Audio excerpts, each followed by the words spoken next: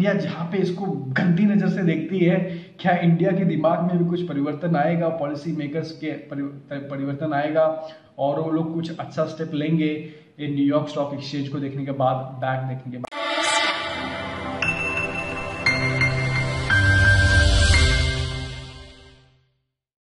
Welcome back so हम लोग ने काफ़ी सुना है कि बैक आ रहा है बैक आ रहा है बट इस वीडियो में मैं एक्चुअली बताना चाहता हूँ कि बैक इतना इंपॉर्टेंट क्यों है? क्यों इतना सब लोग बात कर रहे हैं? और बाय द वे डिसाइड हो गया है date finally the next twelfth of December को ये फाइनली स्टार्ट होने वाला है। मैंने अभी तक बिटकॉइन प्राइस में कुछ मूवमेंट नहीं देखा है। इन्होंने कल जो है डिक्लेयर किया है कि डेट दिया है डेफिनेट बट इस वीडियो में बताना चाहता हूँ कि इतना बड़ा इंपॉर्टेंस क्यों दिया जा रहा है बैक को और क्यों एक बुल रन आने की पॉसिबिलिटी है? या फिर क्यों बिटकॉइन का प्राइस कुछ पॉजिटिव जाने की पॉसिबिलिटी ज़्यादा है।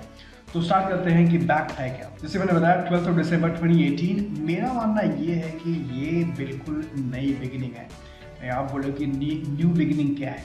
वेल well, मैं आपको बताना चाहता हूँ कि न्यू बिगिनिंग इसके लिए क्योंकि last ten years okay I think 2008 2009 bitcoin का इन्वेंशन हुआ था। जब लोगों ने स्टार्ट किया था तो लोग क्रिमिनल एक्टिविटीज़ सोचते थे। कुछ वैल्यू नहीं है। काफ़ी लोग सोचते थे कि ये फालतूगिरी है, यहाँ पे कुछ ऐसा होने वाला नहीं है। लास्ट टेन ईयर्स में, लेकिन तो भी जिसने भी इन्वेस्ट किया, वो सब रिटेल इन्वेस्टर थे। हमारे जैसे, तुम्हारे जैसे कुछ लोगों ने विश्वास किया, उस पर इन्वेस्टमेंट किया बाइंग किया सेलिंग किया। Last ten years minded it is two thousand eighteen right now It has all been retail investor. It is since last year 2017 में दिसंबर में पहली बार C M C B O group bitcoin की futures trading हुई थी। But उसके पहले अभी तक रिटेल इन्वेस्टमेंट का बट अब बड़ा धमाल होने वाला है। सबसे बड़ा न्यूयॉर्क स्टॉक एक्सचेंज सबसे बड़ा स्टॉक एक्सचेंज जो वॉल स्ट्रीट का माना जाता है जिसकी कैप जो कंपनी है बैक कंपनी है इंटर कॉन्टिनेंटल एक्सचेंज बोलते हैं।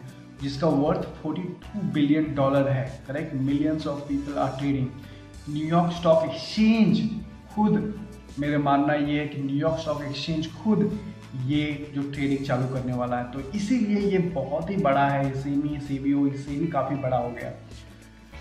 अब जो इनके सीईओ e हैं वो केली लोफर हैं wife of Jeff Sprecher basically जो सीईओ e हैं बैक के आ, वो लेडी हैं केली और शी इज़ बेसिकली जो कपल आप देख रहे हो यहाँ पे, ये फाउंडर्स हैं न्यूयॉर्क स्टॉक एक्सचेंज के, जो पेरेंट कंपनी है आईसीई के।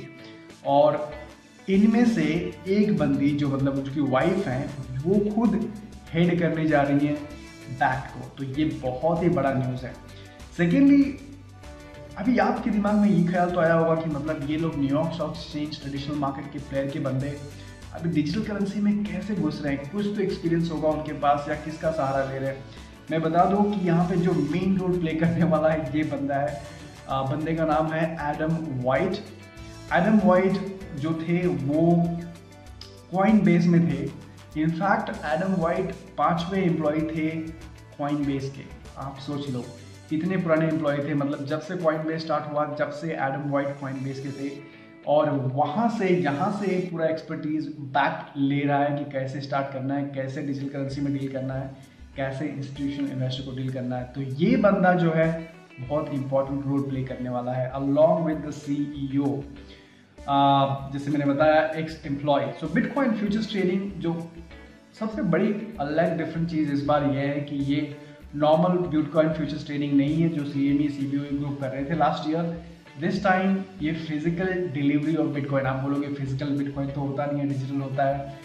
यस yes, डिजिटल होता है बट इस बार ट्रांजैक्शन होगा। मतलब जब भी हैंड ओवर हो रहा है बिटकॉइन फ्यूचर्स का तो बेसिकली ट्रांजैक्शन होगा। Actual bitcoin transaction take place करेगा जैसे हम दोनों के बीच में या आप किसी को ट्रांजैक्शन करते हो तो एक ट्रांजैक्शन प्लेस एक्चुअली होता है। खाली प्रॉमिस नहीं होता। तो इस बार एक्चुअल डिलीवरी ऑफ़ फिजिकॉइन होगी।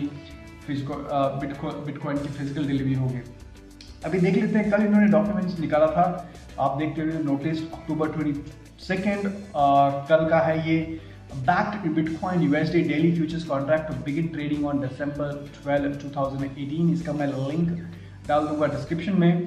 तो यहाँ पे देख सकते हो description of physically settled daily futures contract for Bitcoin held in ICE's digital asset warehouse इनका ट्रेडिंग आवर्स है 8 PM to 6 PM this is trading hours for Bitcoin. Futures trading obviously Bitcoin तो ट्वेंटी फोर सेवन ट्रेडिंग होता है। ये इनकी official website है, जहाँ पे इन्होंने डिटेल से बताया कि बिटकॉइन फ्यूचर्स क्या है। और मुझे ऐसा भी लगता है कि सिर्फ़ बिटकॉइन फ्यूचर्स ट्रेडिंग है, सिर्फ़ एक प्रोडक्ट है। मेरे ख्याल से इसके अलावा भी और भी फाइनेंशियल प्रोडक्ट्स ये लोग ट्रेड करना स्टार्ट करेंगे बिटकॉइन फ्यूचर्स के बाद। So overall it's a very good news and finally the date has been confirm twelfth of twelfth of December which I see as as as a very big movement into cryptocurrency और ये मैंने actually tweet भी किया था कि आज काफ़ी लोग प्राइस को देखते हैं मार्केट कैप को देखते हैं, लेकिन जो रियल चीज़ लोगों को देखना चाहिए, वो रियली देखना चाहिए कि अडॉप्शन मतलब इंस्टीट्यूशन इन्वेस्टर कितने बुलिश हैं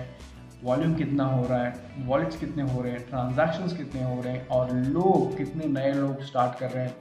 बिटकॉइन क्रिप्टो में नए डेवलपमेंट कितने हो रहे हैं। ये बहुत ज़्यादा इंपॉर्टेंट है that just the price price is just side effect मुझे पता है आज कुछ नहीं दिखाई दे रहा है, पर I am sure eventually future में इन सब का असर प्राइस पे ही गिरने वाला है और कहीं नहीं पे। सो डेफिनेटली आपसे जानना चाहूँगा कि आपको क्या लगता है बैक का इम्पैक्ट क्या होगा बिटकॉइन की प्राइस पे और ओवरऑल इकोसिस्टम पे आपको क्या लगता है कि न्यूयॉर्क स्टॉक एक्सचेंज जैसे प्लेयर्स अगर स्टार्ट हो गए तो बाकी के लोग भी इसको बहुत ध्यान से देखेंगे स्पेशली इंडिया जहाँ पे इंडिया जहाँ पे इसको गंदी नज़र से देखती है, क्या इंडिया के दिमाग में भी कुछ परिवर्तन आएगा पॉलिसी मेकर्स के परिवर्तन आएगा, और वो लोग कुछ अच्छा स्टेप लेंगे, ये न्यूयॉर्क स्टॉक एक्सचेंज को देखने के बाद बैक देखने के बाद अपना ओपिनियन डेफिनेटली डाल देना कमेंट में.